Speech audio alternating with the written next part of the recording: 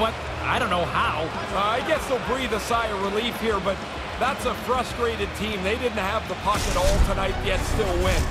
Well, we had a great night of action on the ice, and we hope you certainly enjoyed it from your viewpoint. From all of us, Ray, Carlin, I'm James. See you next time.